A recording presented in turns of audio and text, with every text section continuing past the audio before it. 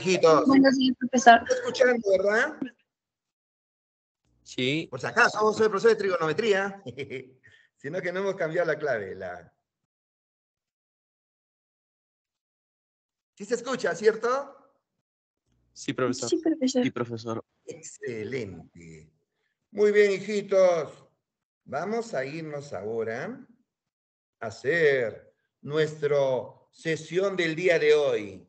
Y chicos, primero que nada, felicitarlos por estar atentos en la clase y quiero, quiero que todos le pongan mucho, mucho interés a la sesión del día de hoy. ¿Por qué? Porque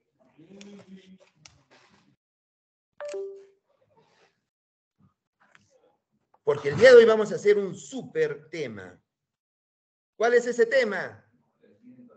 Las famosas identidades trigonométricas.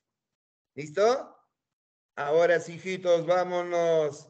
Vámonos con nuestra sesión que no aparece. Estos de acá son un fraude.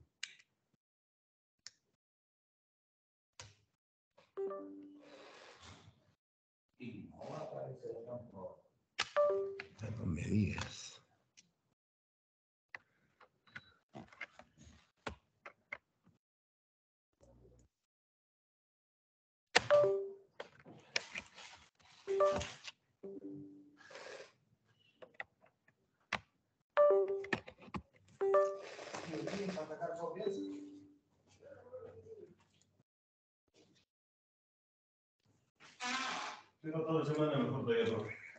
¿De verdad? Ah, Sí, quiero Mañana es el examen, tío. Ah, para la de quinta. Sí. Ay.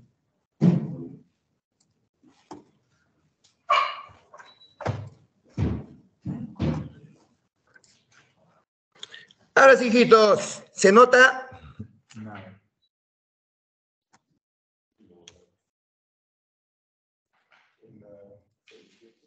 Avíseme si se está compartiendo la pantalla, por favor.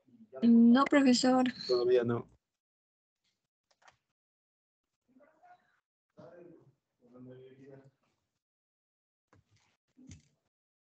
¿Listo ahora? Ahora sí. Ahora sí.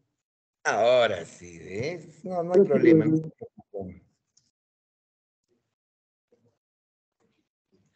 Ahora sí, una vez más, hijitos, muy buenos días con todos. Vamos a empezar, vamos a empezar con la sesión de trigonometría, con el tema, las famosas identidades trigonométricas. Hijitos, vamos a ver que la sesión del día de hoy va a ser una de las más importantes que hay, porque es lo que más, más preguntan en exámenes de ingreso. ¿Listo? Así que no quiero, no quiero el 100% de atención, no. Ahora quiero el 800% de atención. ¿Ok? Y si hay alguna duda, pregunten con confianza, no se asusten, pregunten. Vámonos entonces. No te olvides que cuando yo diga identidad, es sinónimo de igualdad. Entonces, ¿qué cosa va a ser una identidad? Una igualdad. Y en trigonometría, como trabajamos con ángulos, ¿qué cosa va a ser una identidad trigonométrica?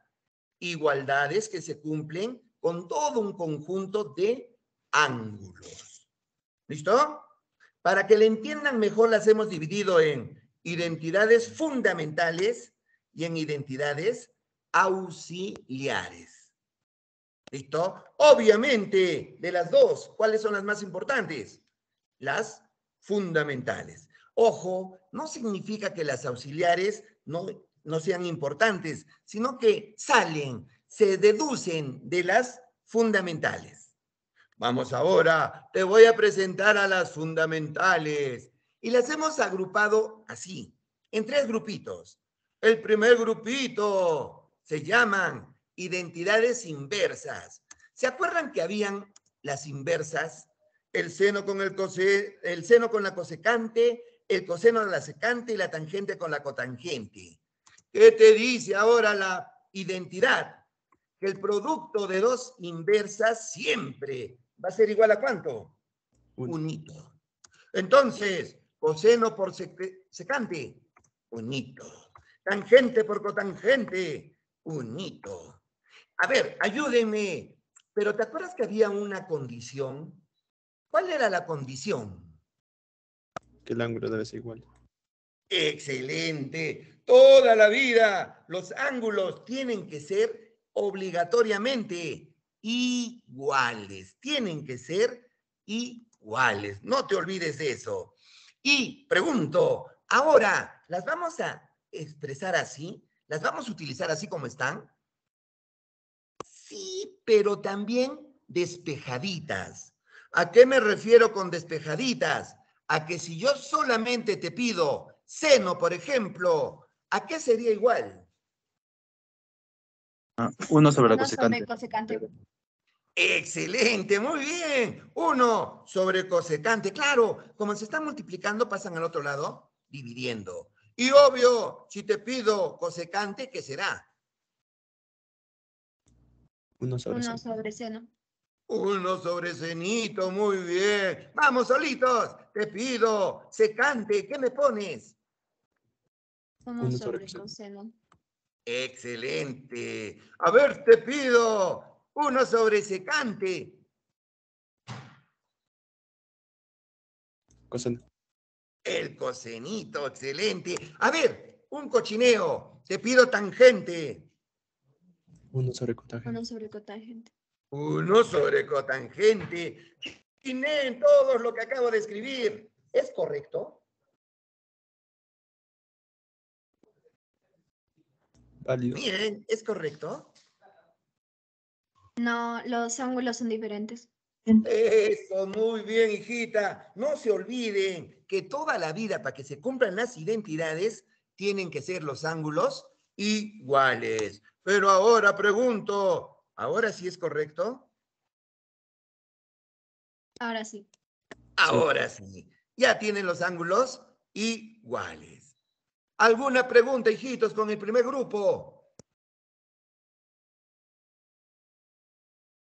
¿Está todo claro? Sí. Muy bien. Vámonos con el segundo grupo de identidades, las famosas identidades razón, cociente o por división, cualquiera de los tres nombrecitos. Y son las más papaitas de todas, solo son dos, la tangente y la cotangente. Hijitos míos, a partir de la fecha, cuando yo te diga tangente, al toque, ¿qué vas a poner? seno sobre coseno. Y como la cotangente es su inversa, ¿qué pondrías?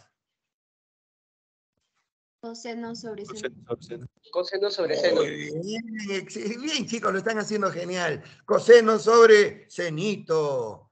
Ahora, un detallito importantísimo. Los ángulos siempre, ¿cómo deben ser? Igual. Iguales. Vámonos ahora, hijitos. Estas tres son las recíprocas. Estas dos son las identidades razón. ¿Y qué operaciones se están haciendo en esos dos grupos? Multiplicación y ¿qué más? División. División. División. División, muy bien. Ahora, ¿te acuerdas que en la teoría de exponentes hay propiedad para la multiplicación y para la división? Te hago acordar, mira por aquí. La potencia de un producto, ¿qué se hacía con el exponente? Se reparte. Se reparte. Eso, se reparte para todos. Igualito, cuando tienes la potencia de un cociente, se va para arriba y se va para abajo el exponente. En otras palabras, si le pones exponente a uno, se lo pones a todos. ¿Sabes qué significa eso? Que en estos dos grupos, escúchame bien, ¿ah? Solo en estos dos grupos, vuélveme a escuchar, solo en estos dos grupos, la yapita, solo en estos dos grupos se puede jugar con los exponentes. ¿A qué me refiero con que se puede jugar con los exponentes? A que si tú tienes seno por cosecante sale 1. Y si de chiripazo, de suerte, por ahí tienes seno al cubo por cosecante al cubo, literalmente, ¿qué debes poner? 1 al cubo. O sea, que si le pones exponente a al cubo. 1, eso, se lo pones a toditos. ¿Listo? Pero tú sabes algo, que por ahí hay alguien que no necesita de exponente porque siempre sale lo mismo. ¿Cuál? El 1. El 1. El 1 cualquier potencia sale unito, así que le borramos el 1, el 3 y ya está. A ver, hijito, si me has entendido, si por ahí te pongo seno a la cuarta, ¿a qué sería igual? Uno sobre cosecante al cua- a la cuarta. Eso, muy bien. Eso es jugar con los exponentes. Le pones, obviamente que ahí tienes que alucinar que el 1 tiene cuarta, pero no se lo pones. Ya te diste cuenta. Si te pongo 1 sobre secante a la quinta, ¿qué me pones? Cosecante a la quinta. Coseno. A la quinta. Coseno a la quinta. Coseno. Cosenito a la quinta. Si por ahí te pongo cotangente al cubo, Uno sobre tres. Uno sobre Uno sobre tangente del tangente. cubo. 1 sobre tangente a la 1. Eso. Pregunto, hijitos. Seno sobre coseno es tangente. Pregunto, seno quinta sobre coseno quinta, ¿qué sería? Tangente aquí. Tangente. Tangente a la quinta, no te olvides. Podemos jugar con los exponentes. Dime entonces, cotangente cuadrado, ¿qué será? Coseno cuadrado sobre seno cuadrado. Correcto. Coseno cuadrado sobre seno cuadrado. Entonces, hijitos, para redondear la idea, solo, solo se puede jugar con los exponentes, con las identidades recíprocas y razón. Nadie más. ¿Listo? Vámonos ahora con el tercer grupito de identidades, las famosas pitagóricas. ¿Por qué crees que se llaman pitagóricas? ¿Por qué? ¿Por qué será? ¿De dónde vienen? Pitágoras. Claro, de la aplicación del teorema de Pitágoras. Y chicos, Pitágoras, ¿cómo se aplica? ¿Al cubo, a la cuarta o al cuadrado? Al cuadrado. Al cuadrado. Al Al cuadrado. Esa es una forma, hijitos, esa es una forma de reconocerlas. Siempre están elevaditas al cuadrado. Y acá te las presento. Mírala. Seno cuadrado más coseno cuadrado, unito. La segunda, unito más tangente cuadrado, secante al cuadrado. Y la tercera, unito más cotangente cuadrado, cosecante al cuadrado. Pregunto a todos, ¿así las vamos a aplicar ahora a las identidades? Bueno, sí, pero también despejaditas. Profe, ¿cómo despejaditas? A ver, si yo solo te pido el seno cuadrado, al toque, ¿qué me dices? Uno menos Uno menos coseno coseno cuadrado. al cuadrado. Muy bien, claro, como se están sumando, pasan al otro lado restando. Uno menos coseno al cuadrado. Y obviamente, si te pido coseno cuadrado, ¿qué me dirás? Unito. Uno Uno menos. menos ¿Qué falta? cuadrado. 1 menos seno al cuadrado. Seno al cuadrado. Eso, muy bien, hijito. Muy bien, chicos, lo están haciendo muy bien. A ver, los veo. Quiero solamente la tangente al cuadrado. Secante al cuadrado menos uno. Secante al cuadrado menos uno. Secante al cuadrado menos 1. Excelente. A ver, si se me antoja el uno solito, ¿qué me dices? Secante al cuadrado menos Cuadrado, al seno al cuadrado. menos cotangente al cuadrado. Menos tangente cuadrado. Vámonos con la otra. Quiero cotangente cuadrado. Cosecante al cuadrado. Cosecante al cuadrado menos menos uno. Cosecante al cuadrado menos uno. Correcto. A ver, y quiero el último, un hito. Cosecante al cuadrado. Cosecante al cuadrado cotangente menos Cosecante al cuadrado. menos cotangente al cuadrado. Excelente, chicos. Y no se me olviden, toda la vida, cómo tienen que ser los ángulos. Iguales. Igual. Igual. Igualitos. A ver, un cochineo. Seno cuadrado más coseno cuadrado vale uno. A ver, hijitos. Y seno cubo más coseno cubo, ¿cuánto sería? ¿Uno? Uno. Y no. ¿Se acuerdan que les dije hace un ratito? Menos. Solo se puede jugar con los exponentes. ¿En qué grupo? En las recíprocas En las y en razones. las razones.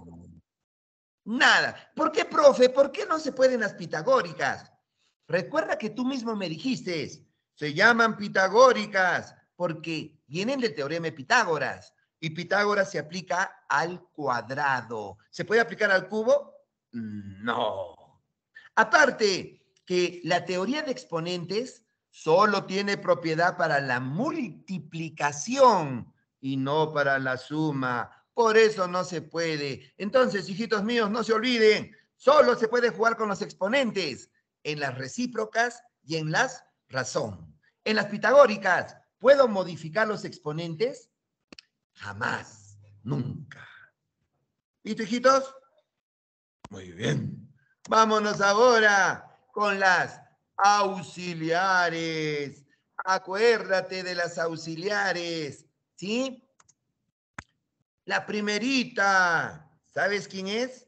Tangente más cotangente. Hijitos, literalmente, ¿sabes qué tendrías que hacer tú? Poner, en vez de tangente, seno sobre coseno. En vez de cotangente, coseno sobre seno. Y te va a quedar una suma de fracciones heterogéneas. Hayas el mínimo común múltiplo, divides, multiplicas, divides, multiplicas. Aplicas una identidad, separas factores, aplicas dos identidades, juntas factores y te queda la respuesta. Pero segurito que te estás quedando así en el aire diciendo, ucha, que profe ya está hablando quechua. ¿Qué estará diciendo? No te preocupes, la trigonometría te quiere, te aprecia y con mucho cariño te dice que no hagas todo eso. Ese ya lo hizo. Tu chamba, tu trabajo es aprenderte esto. Que cuando veas tangente más cotangente, de frente, ¿qué pones? Secante por cosecante. ¿Listo? Y obvio, cuando veas secante por cosecante, ¿qué pondrías? Tangente más cotangente. Tangente por más cotangente. Más cotangente. Eso, muy bien. Claro, porque la igualdad se cumple de ida y de venida. A ver, a ver, un cochineo. Y si te pongo tangente cuadrado más cotangente cuadrado, ¿qué sería?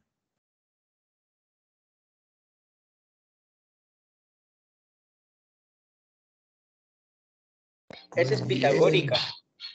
Tu silencio me lo dijo todo. Excelente. Chicos, no, no se puede jugar con los exponentes. ¿Ya te acuerdas? Te dije, solo se puede jugar con los exponentes en dónde? En las recíprocas y en la razón. ¿En las pitagóricas se pudo? No. ¿En las auxiliares se puede? No.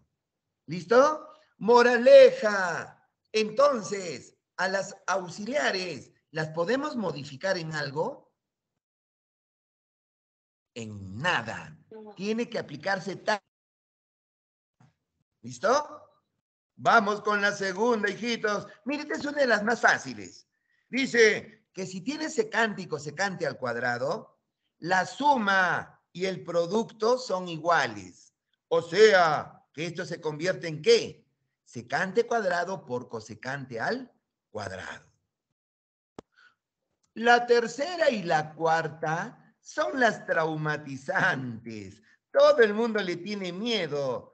¿Hasta, hasta qué pasan piola? Seno cuadrado más coseno cuadrado, unito. Pero les pones seno a la cuarta más coseno a la cuarta y ahí empiezan a convulsionar, no hacen nada. Peor todavía si les pones seno sexta más coseno sexta, ahí ya, cadáveres mueren de inmediato. Pero hijitos, estas dos son igualitas. Mira, la primera empieza con uno y la segunda también. La primera continúa con menos y la segunda también. La primera continúa con seno cuadrado, coseno cuadrado. Y la segunda también. Pregunto, hijitos, hasta ahí, ¿cómo están? ¿Iguales o diferentes? Igual. Iguales. Iguales. Igualitas. La única diferencia es aquí, el coeficiente, el numerito que se pone acá adelantito. ¿Y sabes qué vas a hacer para que nunca te olvides? Al exponente, sácale la mitad. Si es cuarta, le pones dos. Y si es sexta, le pones tres. ¿Listo? Vámonos ahora con la número 5, que también se usa bastante. Mira, es un trinomio elevado al cuadrado. ¿Te acuerdas cómo era el desarrollo del trinomio al cuadrado? Cuadrado del primero más cuadrado del segundo más cuadrado del tercero, más el doble del primero por el segundo, más el doble del primero con el tercero, más el doble del segundo con el tercero. Era una monstruosidad de fórmula. Y con seno y coseno, peor todavía. Pero la trigonometría te quiere, te aprecia y te dice, solo pon esto dos veces, dos factores. Combinadito el uno con el seno y el uno con el coseno. ¿Cómo van los signos? Igualito como los encuentres. Si es más, le pones más. Si es menos, le pones menos. Mira esta.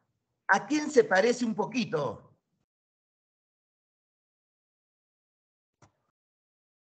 A la tercera, ¿verdad? Sí, profesor. Pero así es más fácil cuando es con menos. Simplemente copias la misma base y le sacas la mitad al exponente. Seno cuarta menos coseno cuarta va a ser seno cuadrado menos coseno cuadrado. He puesto algo en la séptima. Yo te la escribo y tú me dictas la octava. Mira por aquí. Cuando trabajas con fracciones, no es que sea difícil, ¿ah? sino que es un poquito trabajoso. Peor todavía cuando tienes dos términos en el denominador. Ahí, sácale la vuelta, lo inviertes, pones arriba y el de arriba, ahora abajo. Pero cuando en matemática tú haces un cambio de esos, alguien tiene que pagar, ¿no es cierto? ¿Quién va a ser el pagano aquí? El signo. Si acá abajo encuentras menos, acá arriba, ¿qué le vas a poner? Más. Y obvio, si acá hubiese encontrado más, ¿qué pones arriba? Menos. A ver, hijitos, usen su lógica y díctame, ¿qué pondría ahora en esta octava? 1 más seno, seno de b sobre coseno. Excelente. Y si abajo te hubiera puesto más, ¿qué hubiera sido acá arribita? Menos. Menos. Resumiendo, no te olvides los ángulos iguales. Resumiendo, ahí están las tres inversas. Acá están las dos recipro o razón. Acá están las tres pitagóricas y tus auxiliares. Hijitos míos, apréndete esta hojita, solo esta hojita, y todo, todo va a ser mucho más fácil. No te olvides, se puede jugar solamente con las inversas y con la razón. Y en todos los casos, los ángulos deben ser iguales. ¿Listo? Hijitos, en tu vida vas a encontrar cuatro tipos de ejercicios. ¿Cuáles son esos cuatro tipos? Las demostraciones que te dan así como una igualdad. Tú tienes que demostrar que el primer miembro es igual al segundo, que el segundo es igual al primero. Pero no te asustes, nunca han preguntado eso. El segundo, sí, harto. Las simplificaciones. Te dan una cochinadota de ejercicio, tú lo tienes que convertir en una cochinadita. El otro tipo se llama condicionales. Su nombre lo dice todo. Te van a dar una condición y te ponen sí y te dan la condición. Y te ponen hallar y te dan el ejercicio. ¿Cómo se trabaja aquí? Tienes que interactuar. Empiezas en la condición, pero buscando algo del ejercicio, o al revés. Empiezas en el ejercicio buscando algo de tu condición. Esto también han preguntado bastante, así que vamos a hacer harto de eso. Chinea el último tipo, la eliminación angular. Te dan así, como especie de sistemas de ecuaciones. Y te dicen que elimines al ángulo. Ah, profe, lo borro. No, mira lo que tienes que buscar. Pregunta, hijitos. Seno cuadrado de beta más coseno cuadrado de beta. ¿Cuánto salía? Uno. Uno. Unito. ¿Y qué pasó con el ángulo beta? Lo eliminamos, lo choteamos. Entonces, hijitos, cuando tú tengas que eliminar un ángulo, tienes que buscar esas identidades que te salen unito. Por ejemplo, secante cuadrado menos tangente cuadrado que también sale un hito. Por ejemplo, cosecante cuadrado menos cotangente cuadrado, que también sale un hito. Ahora te pregunto, hijos míos, ¿han visto esto alguna vez en su vida? ¿En algún momento de tu existencia has, te has topado con eso? Así, con confianza, dígame. No, profe. No. Eso. Hijitos, cuando escuches vers o veas cof, ¿sabes qué significa? Es el famoso verso y coverso. Oh, profe, ¿qué es eso? Pues son los complementos del seno y del coseno. ¿Listo? A ver, ayúdame. Si yo te digo complemento de 40, ¿cuánto vale el complemento de 40? 50. 50. 50. ¿Te acuerdas lo que le falta para que sea 90 grados? ¿Sí o no? Ahora yo te digo, ¿cuánto sería el complemento de X? 90 menos X. 90 menos 90 menos X. Excelente, 90 menos X. Muy bien, chicos. Me encanta, me encanta que participen. Y acá va a ser igualito. Es 90 menos X porque es lo que le falta a X para que sea lo máximo, 90. Igualito acá. El máximo valor del seno y el coseno es 1. Por eso el verso y el coverso va a ser 1 menos y 1 menos. Lo que le falta al seno y al coseno para que sean unito. Y solo tienes que acordarte que el verso es el complemento del coseno. Y el coverso es el complemento del seno. En castellano, hijitos, donde veas vers, ¿qué tienes que poner? Uno menos coseno. Donde veas cof, ¿qué vas a poner? Uno menos seno. ¿Listo, chicos? Ahora sí, se supone que ya están listitos para poder hacer cualquier, cualquier ejercicio de la guía. Te he preparado unos ejercicios para que en base a ellos puedas hacer los demás. Por ejemplo, para empezar bonito, mira, la número uno. La número uno te dice esto. ¿Listo? Ah, verdad. Me olvidé de decirte algunas recomendaciones. La primera recomendación, este, cualquier principio matemático se puede aplicar. ¿A qué me refiero? A que puedes usar eh, suma, resta, multiplicación, productos notables, factorización. Todo puedes aplicar con las identidades. Segunda recomendación. Cuando tu ejercicio no te, no, no te, no se te ocurra aplicar nada, puedes convertirlo todo. ¿A qué? A senos y cosenos. Pero ojo, es un solo, una recomendación nomás. La recomendación más importante, hijitos míos, te la doy ahora. ¿Y cuál es? Pensar. Tienes que pensar, no te resistas, es bonito. Exígele a tu cerebro. No, profe, me da derrame. No te pasa nada. Exígele con confianza. ¿Listo? Ahora sí, mandémonos. Mira lo que vamos a hacer para este ejercicio número uno. Chinéalo. Tenemos arribita cotangente al cuadrado y abajo cosecante. Pregunto, ¿te acuerdas que había una que transforma la cotangente en cosecante? A ver, acordémonos. Cotangente cuadrado, un despeje cosecante cuadrado menos 1. Le pongo y abajo igualito más 1. Pregunto, hijitos, ¿qué acabo de lograr? Antes tenía cotangente y cosecante. Ahora, ¿qué tengo? ¿Puras qué? Puras cosecantes. Eso y es más fácil de trabajar con ellas. Ahora, hijitos, chiné el numerador. mira, mira el numerador. ¿No se te hace conocido? ¿No se parece a un producto notable?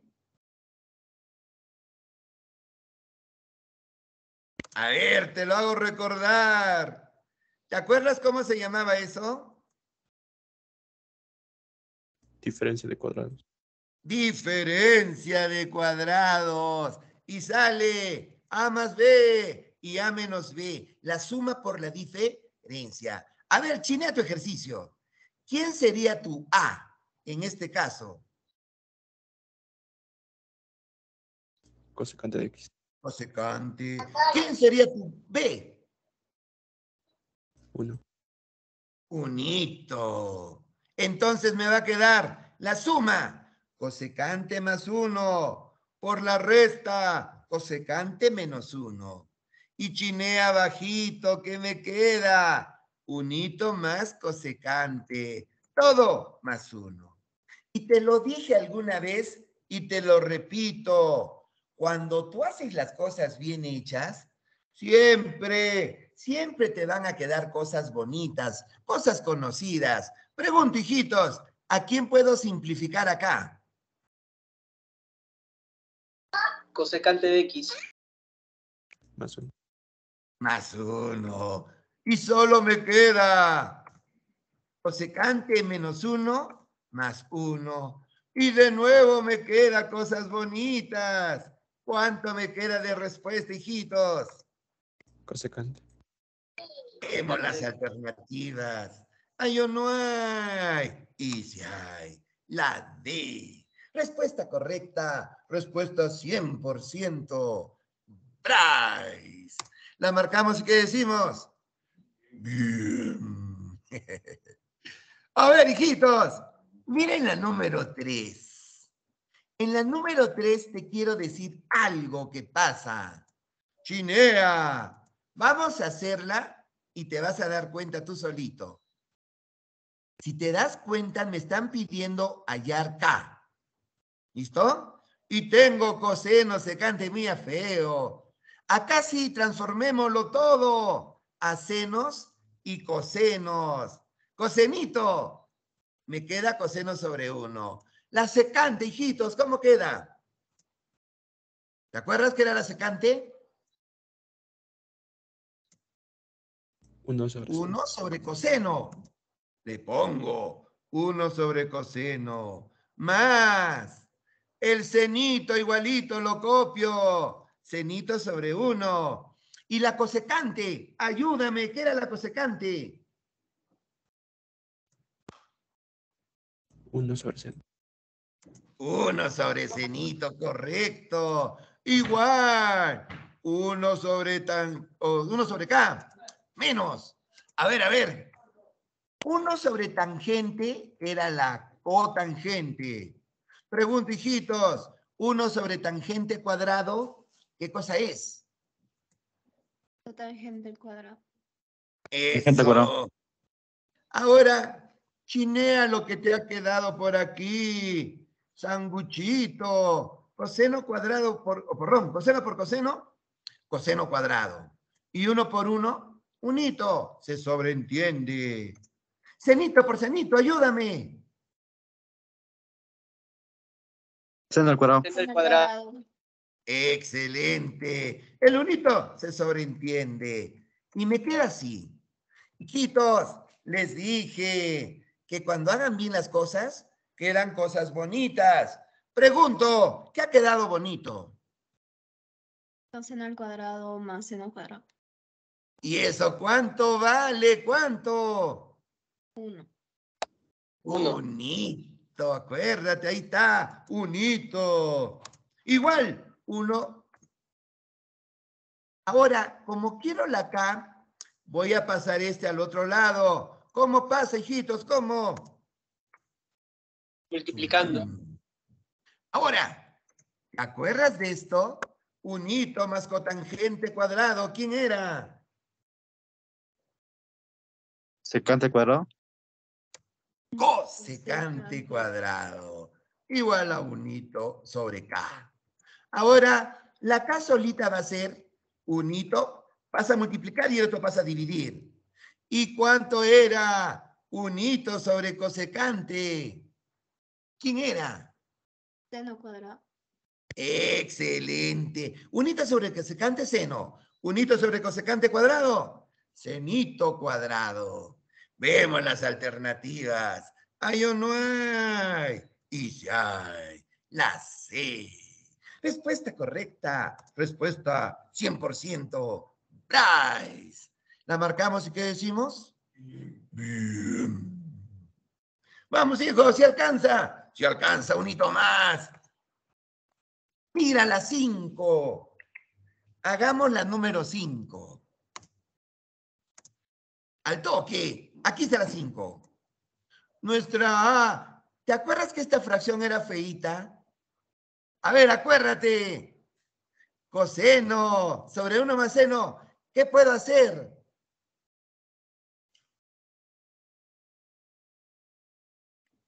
1 menos seno de x sobre coseno de x. Excelente. Le pongo ahí. Y 1 sobre cotangente. ¿Quién era? Tangente. La tangente. La voy a poner. Tangente. Ahora, hijitos, la tangente en senos y cosenos, ¿a qué era igual? Seno sobre coseno. Seno sobre coseno. Le pongo, y como te dije alguna vez, si haces bien las cosas, te van a quedar cosas bonitas, cosas conocidas. Por ejemplo, ¿ahorita qué? ¿Qué tipo de fracciones me han quedado? Fracciones homogéneas. Homogéneo. Homogéneas. Se pone el mismo denominador. Y, a ver, ¿a quién puedo eliminar arriba? Al seno. El cenito. ¿Y qué me queda? Unito. Ayúdame. ¿Qué cosa era uno sobre coseno? Secante. Secante. La secante. Por lo tanto, la respuesta, ¿qué cosa va a ser? Secante de X. Vemos las alternativas. ¿Hay o no hay? Y si hay, la C. Respuesta correcta. Respuesta 100%. Bryce. La marcamos y ¿qué decimos? Bien. Unita más, hijitos, si alcanza. Miren, miren. Ahí tengo mi fracción. Pregunto, hijitos, ¿qué cosa era la cosecante?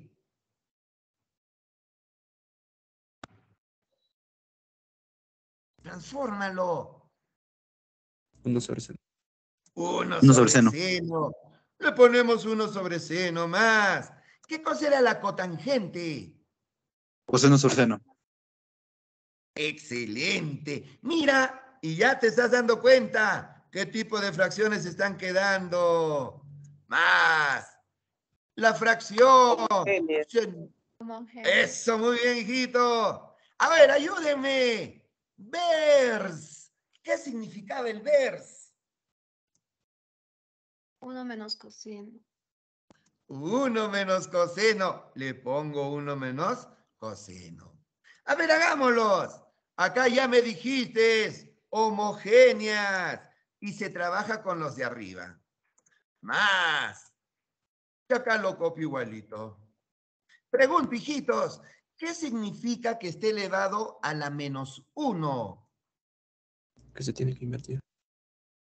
La invertimos. Entonces me queda seno sobre 1 más coseno. Más seno sobre 1 menos coseno. Y hace un ratito hemos hecho una parecida. ¿Te conviene que esté así o mejor invertida? Entonces, si tienes esto, ¿en qué se convierte?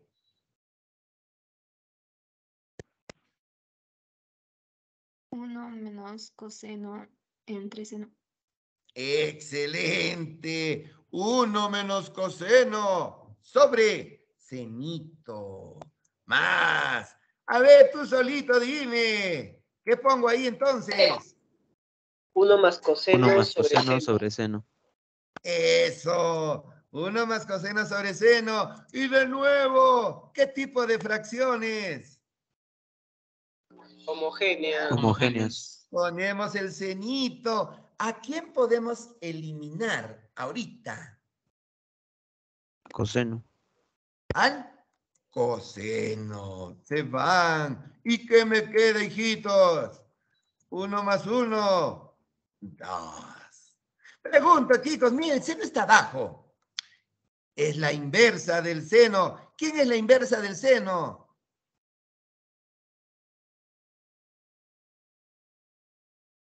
Cosecante.